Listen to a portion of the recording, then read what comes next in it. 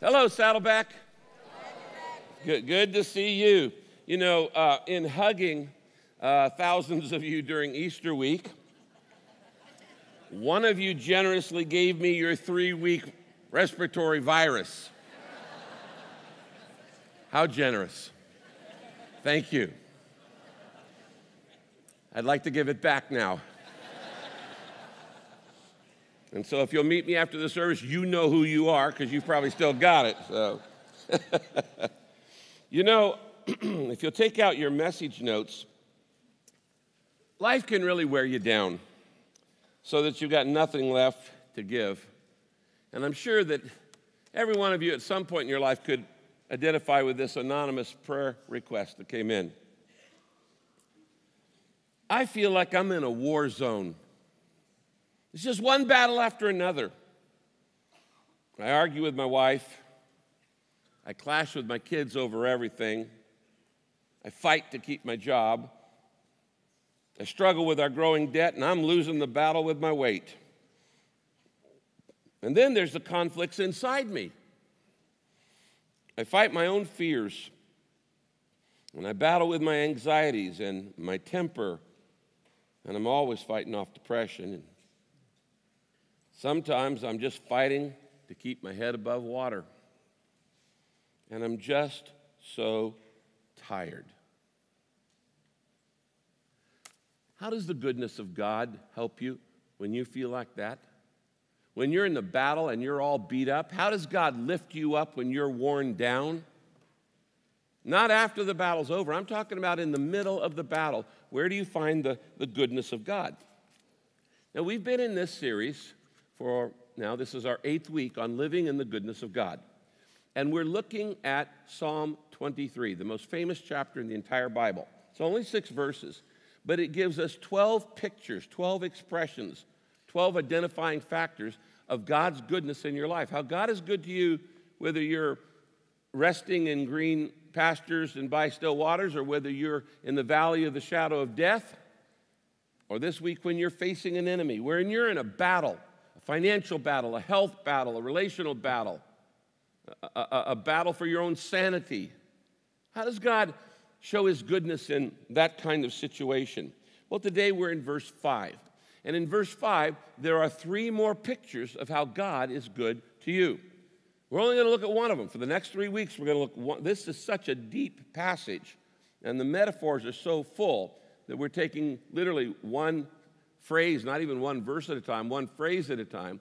And so we're going to look at the first phrase in Psalm 5. It's at the top of your, excuse me, verse 5, at the top of your outline and it says this You prepare a banquet for me in front of my enemies. Pretty simple statement. You prepare a banquet for me in front of my enemies. What in the world does that mean? I mean, this was written over 3,000 years ago. So, it, how can it help you in the battles you have against your enemies this year? Well, we're going to tear it apart first word by word. And uh, to understand this metaphor, uh, you, need to ask four questions. We're going to ask, um, what kind of banquet is it? We're going to ask, uh, who are the enemies? And then we need to ask, uh, what does this banquet symbolize? And then we need to ask, what's on the menu? So let's get right into it. First, what kind of banquet is this? Well, again, let's just take it apart word by word. He starts off by saying, You prepare a banquet for me in front of my enemies. You. The word you means God. He's talking about God. So write this down. Five things we know God is the host. God is the host of this banquet. So, whatever we're going to look at today, it's God's idea. He is the host. And can you imagine the honor of getting an invitation in the mail where God says, I'm inviting you to my banquet? You'd be on an A list. You probably wouldn't even go to bed tonight. You'd stay up taking a couple of showers, getting a haircut, whatever you could do, find new clothes so you'd be ready for a banquet that God has invited you to because He's the host. Then it says, you prepare.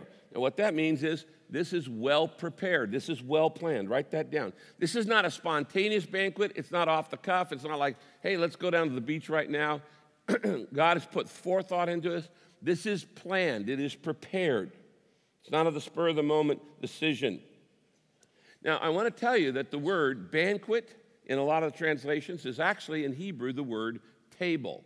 And King James Version says, You prepare a table for me. But it's not just any table. The Hebrew word here is the word shulchan, and shulchan literally means the king's table.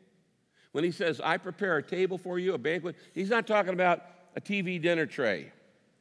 He's not talking about a formica dinette in your kitchen.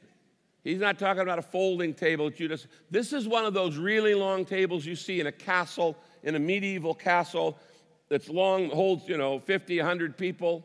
It's the king's table, it's the queen's table. The, this word in the Bible is used almost always to refer to a king's table, or it is referred to the table of showbread in the temple. So it's a special, it's a sacred uh, table that you're being invited to and it is well planned. It's all laid out. It's big, heavy, and it's got the king's feast on it. He says, You prepare a banquet. The next phrase is, For me. Here's what you need to write down You're the guest of honor. So write this down. I am the guest of honor. This is not a banquet for somebody else that you're being invited to attend. This is a banquet that is really just for you. It's you and the king. You're the, you're the guest of honor. You're the big cheese. You're the big deal. And so it is for you. You, I am the guest of honor. You prepare a banquet for me, and it says, in front of. Here's the next phrase it's a public banquet, not private. Your, people are going to watch you eat with the king. People are going to watch you. It is public, it's not in secret. God wants to see you honored, and God wants everybody to see you being honored. So, this banquet we're going to look at today is for you, and it's to be in public. It's not a secret event, it's in front of, and then the last phrase, which is the catch, in front of my enemies. Oh, now that's a twist. I might say, think God would say, I'm going to prepare a banquet for you and your friends. No, he says, I'm going to prepare a banquet just for you, but all of your enemies are going to watch us eat together. What in the world does that mean? It means that it's on a battlefield. Write this down. The banquet is on a battlefield. This is a banquet not just when good times are going in your life, it's when you're under attack. The king says, During the battle, I'm going to come and throw a banquet for you, and all of your enemies are going to watch me honor you, bless you, and have peace with you. So that's what the banquet is. Now, the second question is uh, what, who's the enemy? And I, I, I, could go into this. This could be a whole sermon. We've talked about it before. I'm just going to give you uh, the fill ins. I've written some verses there. I'm not going to even teach on these because I don't want to spend most of the time on it. But the Bible says you have three enemies they are the world, the flesh, and the devil. You might write these down. The first enemy you have is the world around me. The world around me. And I've given you some Bible verses there to look the world is in opposition to God because it worships itself, not God. And the world around you is always coming after you, always um, you know, criticizing you, uh, always not understanding you. If you've ever been picked on, if you've ever been put down, if you've ever had injustice or bias or racialism or prejudice or overlooked because of your gender, that's the world around you. The second enemy you have is Satan is against me. The world is around me, and the second is Satan is against me. And again, I don't have time to go into all of this, but God says that Satan is real and that he wants to defeat you. God loves you and has a wonderful plan for your life. Satan hates you and has a terrible plan for your life. And the Bible says that God, Satan wants to kill you. Satan wants to destroy you. Satan wants to defeat you. Why? Well, he doesn't even care about you. The only reason Satan hates you is because God loves you. That's why you're the enemy of Satan. Because God loves you, and Satan hates anything and anyone God loves. Because God loves you greatly, Satan hates you. Satan wants to hurt you and destroy you because he thinks that'll hurt God. If you wanted to get at me, get at my children or my grandchildren, you would hurt me the most that way. So you've got the world around you, you've got Satan against you. But then the third enemy, and this is the biggest one of all, is my old nature inside me.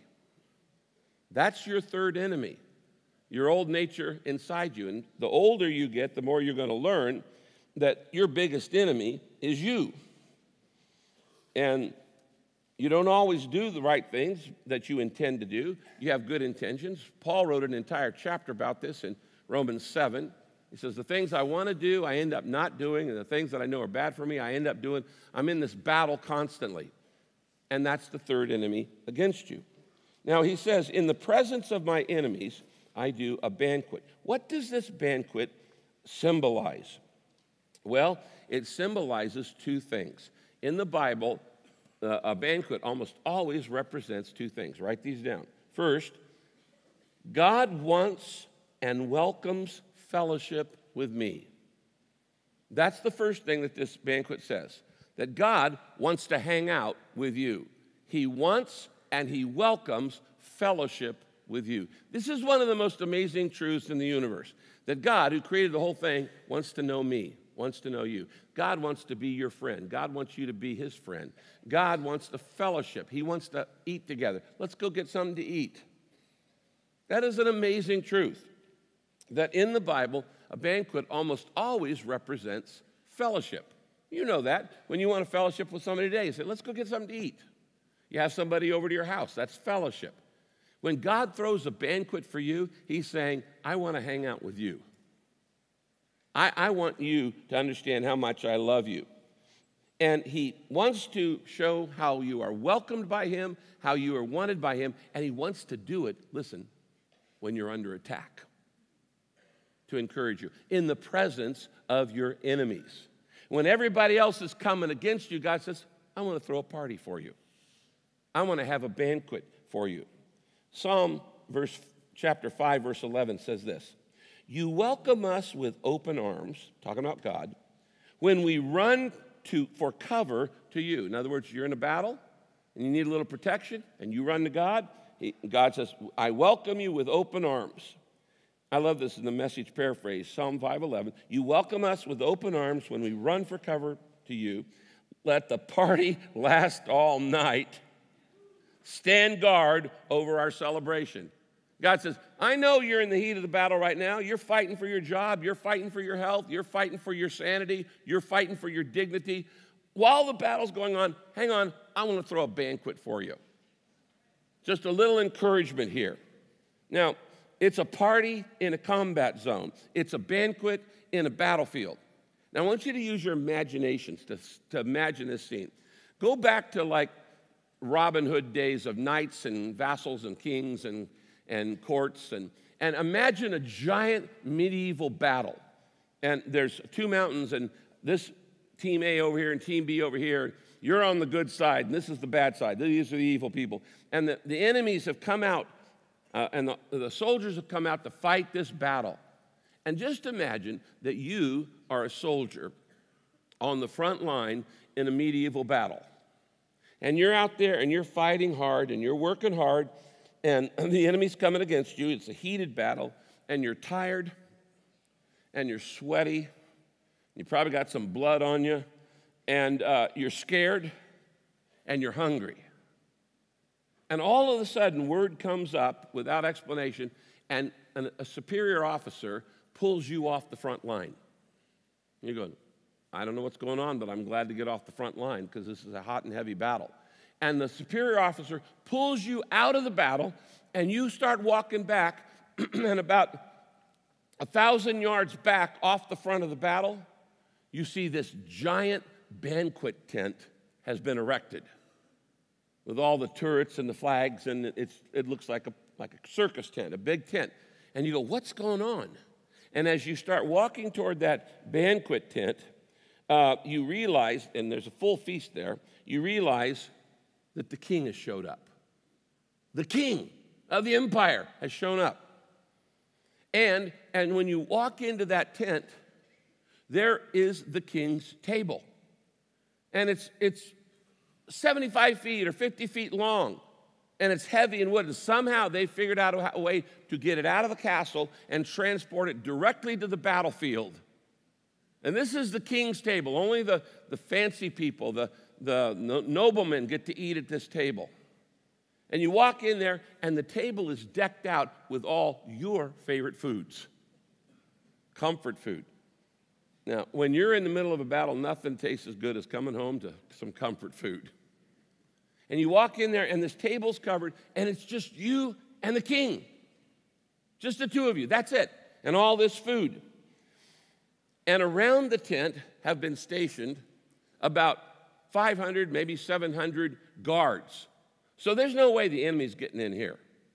But the tent flaps are up and everybody can see what's going on. It's not hidden, it's public. Everybody sees that the king has called you out of battle, brought you back to this giant banqueting tent, put on the feast of your favorite food, and it's just you and the king. And everybody sees it. And then the king says to you in a loving voice, This is all for you. I, I, I made this for you. I planned it for you. And uh, I, I just wanted to hang out with you. I love you. I miss you. Uh, and I want to affirm you publicly in front of both of these armies. And I want you to eat all you want. And uh, you're unhurried, unworried. You're protected here. There's no way the enemy can get to you. Um, and I just want to affirm you and have some fellowship with you. You think you're in a dream world. You know, how does the king even know me? I'm just, I'm just a servant. I'm just, uh, I'm, I'm just a soldier.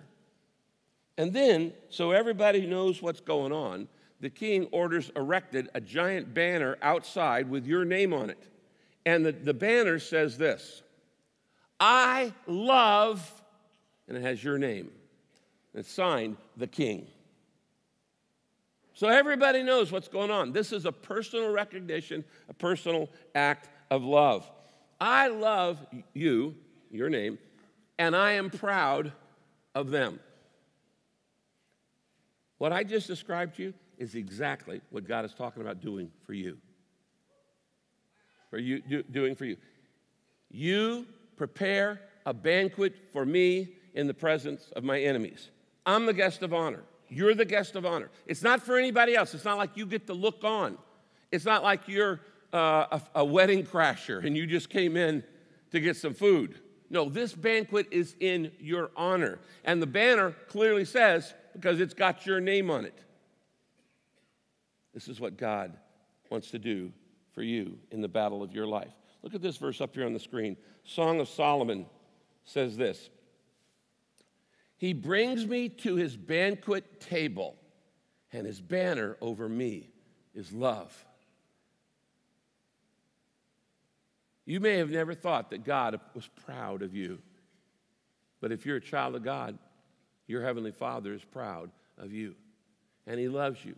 And he brings you to his banqueting table, and his banner over you is love. He wants your whole enemies to know how much he, the king, loves you. Now, go back to this picture. The enemy are fighting, and I, they see this going on, and all of a sudden they just stop the battle.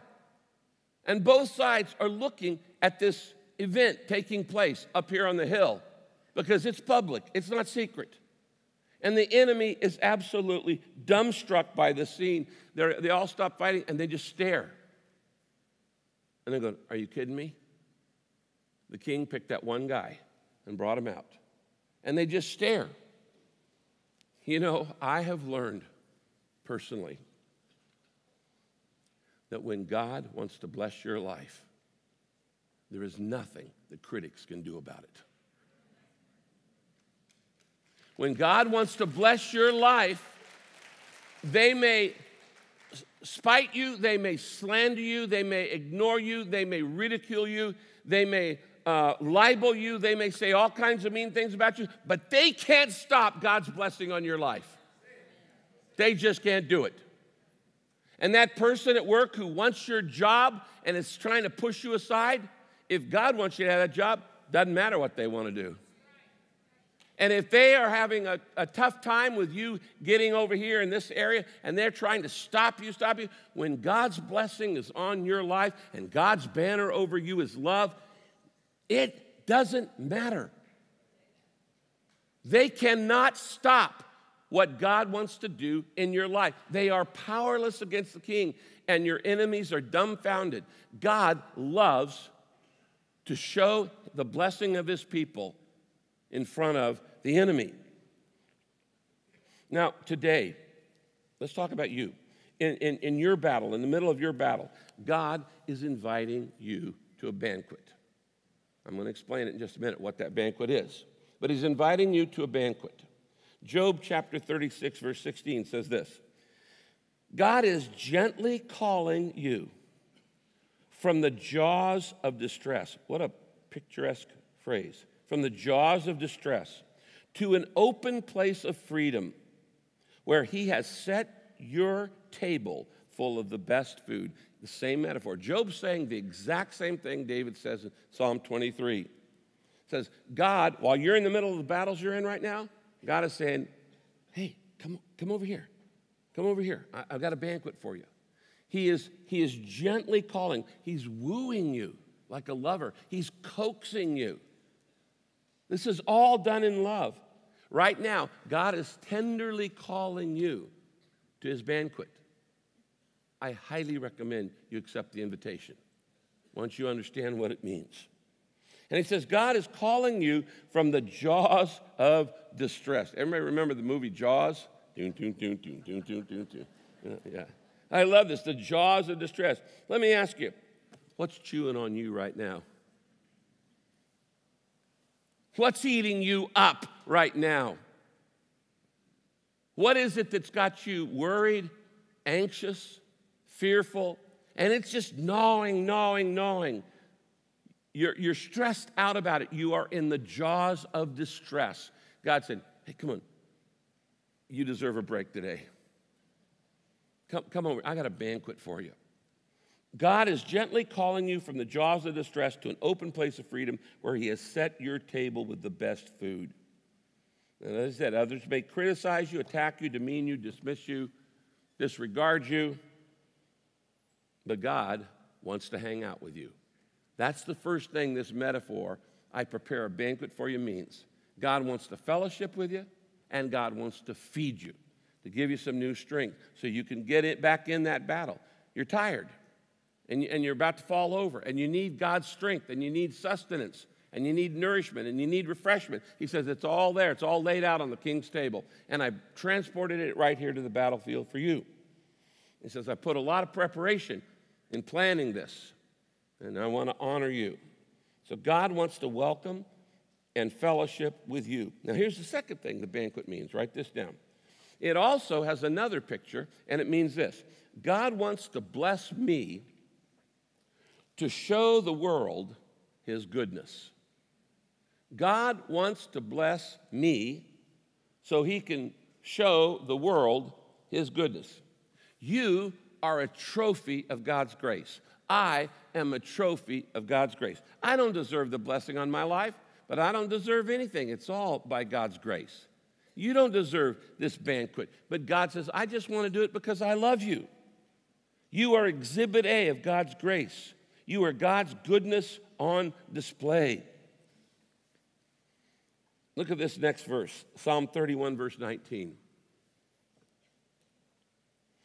Your goodness is so great Remember, we're studying the goodness of God. Your goodness is so great. You have stored up great blessings for those who honor you. And you have done so much for those who come to you for protection when you're in the middle of a battle. Blessing them before the watching world in the presence of mine enemies. God says, I want to bless your life so all the people can look at you and go, wow, that girl is blessed. That guy is blessed. I want that. How are they blessed so much? How are they blessed so much? Well, they have a good God. They know God. And he says, Those who honor me, he says, I have stored up great blessings for those who honor me. Now, I want you to circle those two words, stored up. It says, God has stored up great blessings for those who honor you. Stored up indicates advanced planning. It means that God plans what He's going to do for you before it actually happens in your life. It's stored up, it's planned in advance. It's not just spur of the moment. You know, I just thought it up right now. God prepares a banquet, prepares in advance a banquet for you in the presence of your enemy when you're in the battle. Okay, let's apply this right now. You know that battle you're going through right now? The, the, the tough one you're going through right now, and it's a white knuckle, you know, bare, bare hands thing you're holding on like on a roller coaster for dear life, and you don't know if you're going to win this battle or not. Financial battle, physical battle, relational battle, dignity battle, moral battle, whatever the conflicts going on in your life, those jaws of distress. You know, that battle, God says, I prepare a banquet for you in the presence of your enemies. He had stored up the blessing. It means that battle you're fighting right now, which is very intense, before it even started, before you even got in that battle, God had already prepared the victory celebration. God has already prepared the banquet. God has already prepared the celebration party for the problem you're in right now. Because He knows everything, He knows how it's going to come out. You store up in advance great blessings for those who you just keep honoring God with your life, with your body, with your business. You keep honoring God with the way you think, with the way you act, with the way you talk. And even though everybody's coming against you, you just keep honoring God. God goes, I already got the banquet planned. It's already stored up because you're going to get through this with my help. God loves to throw victory celebrations for his children. Psalm 35, look here on the screen, verse 27. How great is the Lord! He is pleased with the success of his servant. I love that verse. How great is the Lord! He is pleased with the success of his servant. God loves to honor you, and he is pleased with the success when you, when you succeed of your servant, when you are his servant. That's what God wants to do in your life. So, my last question then is what's on the menu? What's on the menu of God's banquet? I want you to write this down. Everything God has promised in His Word is on the menu. Everything that God has promised in His Word is on the menu. The menu are the promises of God in His Word. Now, by many counts, one estimate is that there are about 5,500 promises in this book from God to you. Have you eaten any of them? Have you eaten any of the 5,000 plus 500 promises of God to you? The banquet is sitting right there. Your banquet is in your Bible. Everything God has promised to do your life is in this book. If you're not reading this book, you don't know squat about what's on the menu. All of those 5,500 promises are there. This book is full of fruit and bread and all kinds of meat and milk and drinks and wine and uh, uh, sweets and lots and lots of desserts. the Bible calls, God calls the Bible the Word of God. It calls it the bread of life. Man shall not live by bread alone, but by every word that proceeds out of the mouth of God. The Bible calls itself the meat of the Word, the bread of the Word, the milk of the word. The Bible says it tastes sweeter than honey. The Bible says it is fruit. The Bible says it is fulfilling. The Bible says it is tasty. And over and over and over, all of those terms, banquet terms, describe the Bible itself. And you can have a feast anywhere you've got one of these.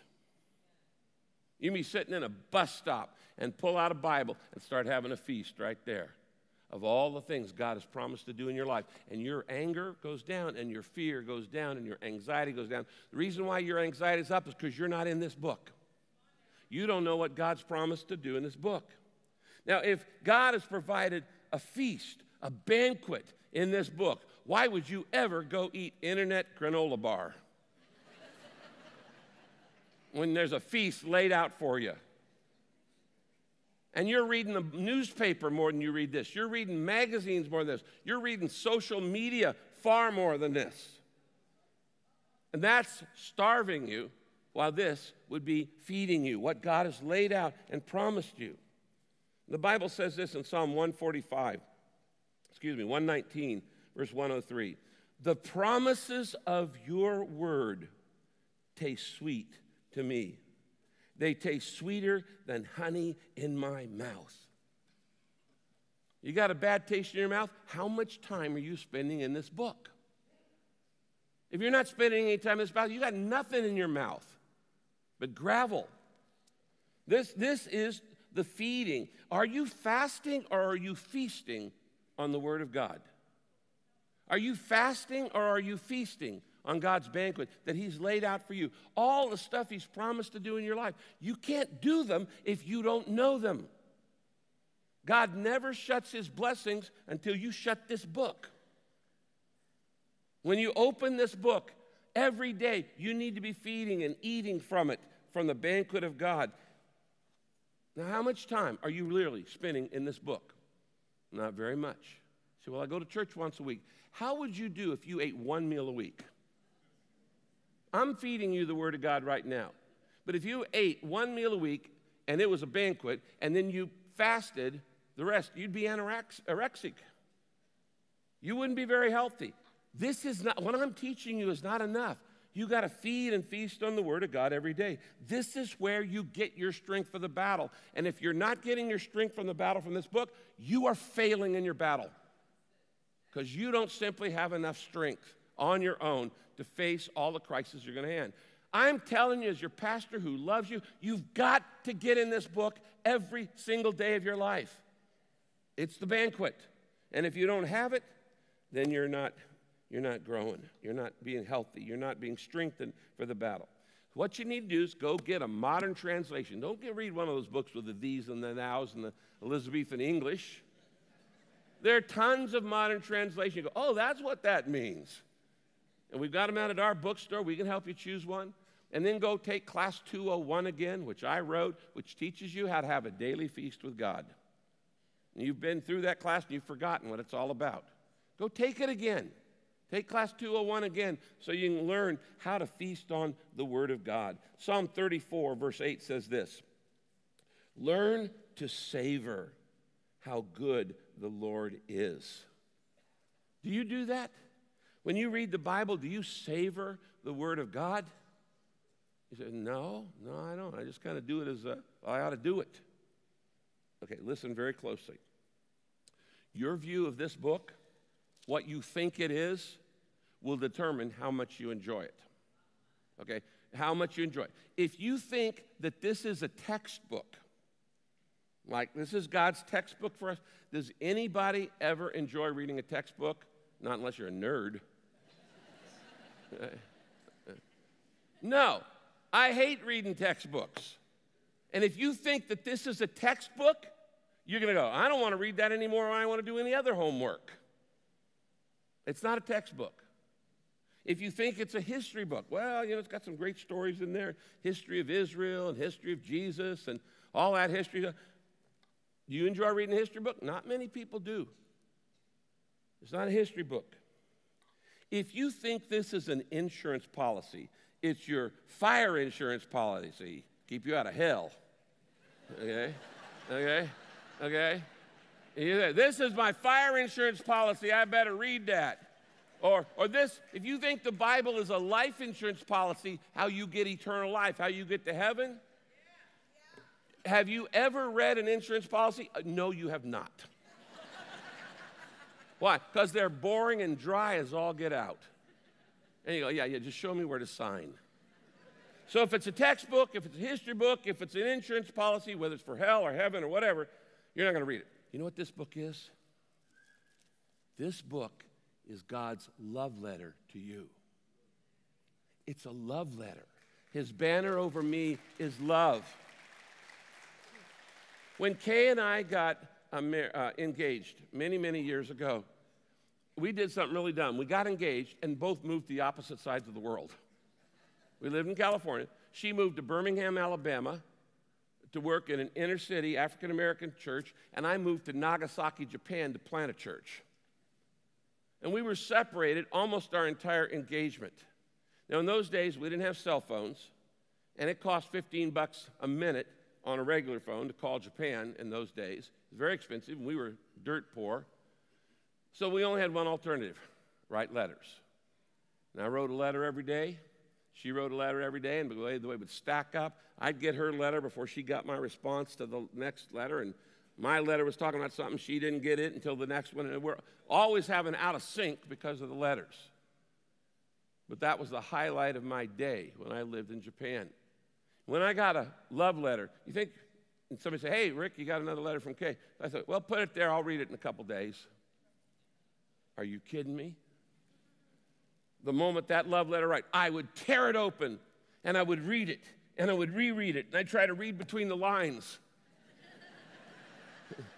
and I'd underline it and I'd want to memorize portions of it. And I'm going, I'm trying to gather every drop of love from this woman for me out of this letter. And I'd read it and reread it and reread it. This is God's love letter to you. It's God, this is not a book. The Bible is not for everybody. The Bible is written for God's children. And that's why when somebody who doesn't believe in God tries to read, doesn't make any sense. Well, that's what you get for reading somebody else's mail. Okay? Okay? It wasn't written for you. This is God's love letter to his children. If you only do one thing, you start reading the Bible every single day. I'll tell you what, start. Start with the book of Luke this week. Start with the book of Luke. It just tells about Jesus. Just start reading through that. Your view, if you're not in this book every day, you are forgetting how much God loves you. And you're forgetting what's on the banquet table. And as a result, you're stressed out because you think it all depends on you. You don't know what's covered in the policy. You don't know what God's already promised to do. The banquet is in the Bible. Now, one more thing. This promise, you prepare for me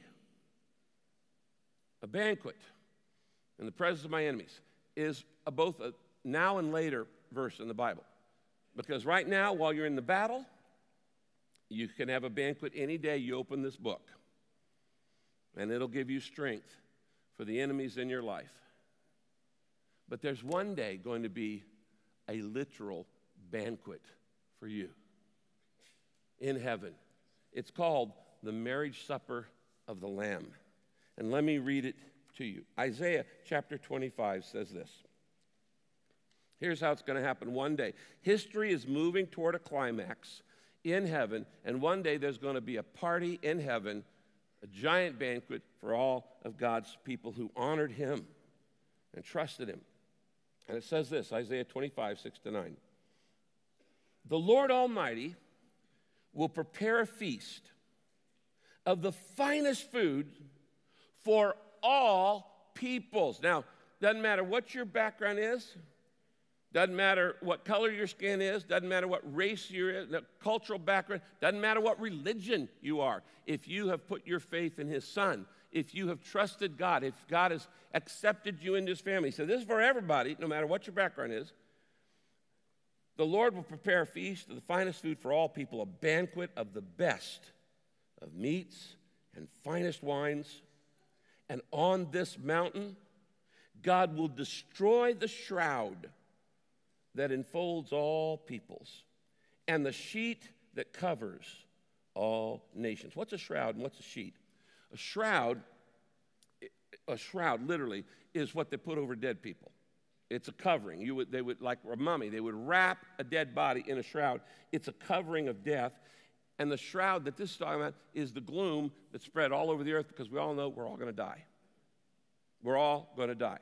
And that is that, that brings the, our attitude. No, we're not going to live forever on earth, and that's the gloom that hangs over everybody. Everybody knows they're going to die one day. God says He's going to destroy that shroud of death and that enfolds people, and the sheets that cover all nations. What's the sheets? That's, that's the crowd of grief that we're all under. because things don't work right. Everything's broken on this planet. And God says one day at this banquet, I'm going to destroy that last enemy. I told you you had the enemy of the world, the flesh, and the devil, but you have a fourth enemy. The Bible calls the fourth enemy death. And the Bible says in Scripture, death is the last enemy to be defeated. And it will be defeated on this day. And there will be no more death. And the Bible says this He will swallow up death forever. No more death. Nobody dies after this. The sovereign Lord will wipe away the tears from all faces, and he will remove the, the disgrace of his people from all the earth. What's that talking about? The disgrace of his people is all the put downs you've had for being a believer. When people have put you down for standing for truth, when people have put you down for doing the right thing, when people have put you down for claiming to be a follower of Jesus Christ, that's the disgrace. He said he's going to remove all the disgrace of his people. Why? By having a banquet in front of all the enemies. He said, I love these people.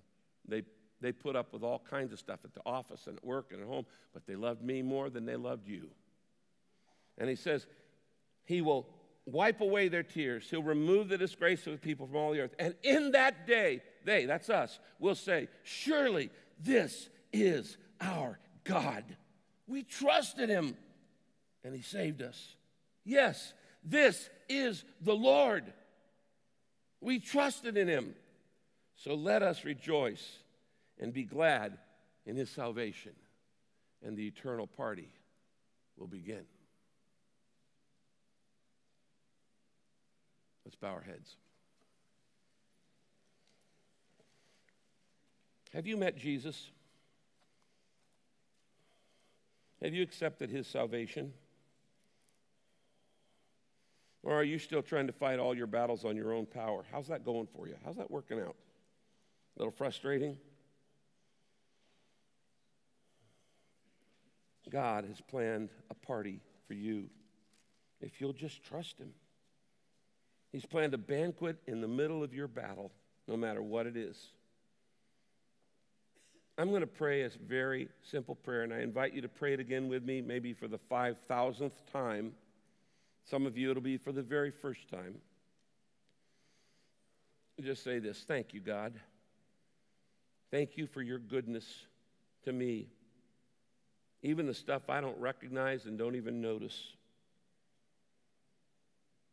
Thank you that even in the middle of all my battles, you want to you want to give me a banquet. You want to make me the guest of honor. That's not in secret, it's public. It's on the battlefield, and even my enemies have to watch you honor me, and they can't do anything about it. Lord, I'm not doing too good in my battles right now. The world's around me with all of the pressure and stress, expectations.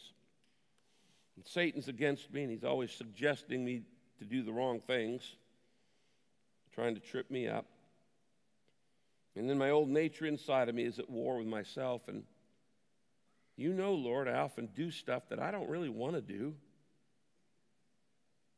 And I don't do the things that I, I know are good and healthy and right.